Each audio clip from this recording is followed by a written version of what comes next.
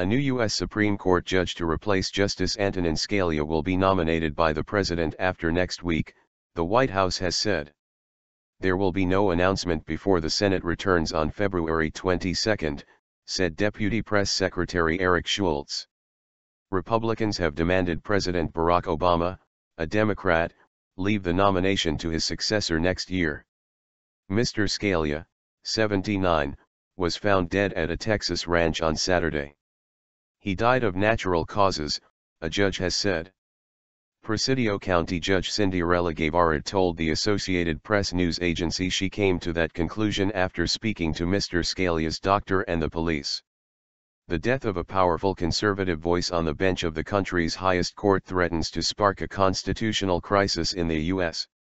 According to the Constitution, the President nominates justices to the court and the Senate, currently controlled by the Republicans, uses its advice and consent powers to confirm or reject that person.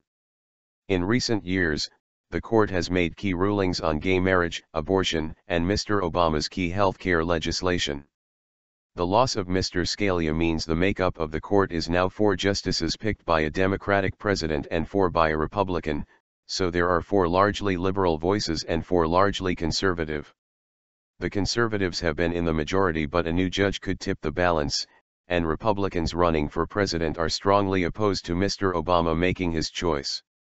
Senate Majority Leader Mitch McConnell agrees, he believes such a key appointment should not be made by a departing president. But the White House has vowed to press ahead, although there will be no swift decision within days. Given that the Senate is currently in recess, we don't expect the president to rush this through this week, but instead will do so in due time once the Senate returns from their recess, said Mr. Schultz. The presidential election is in November, with a new U.S. president to be inaugurated in January 2017.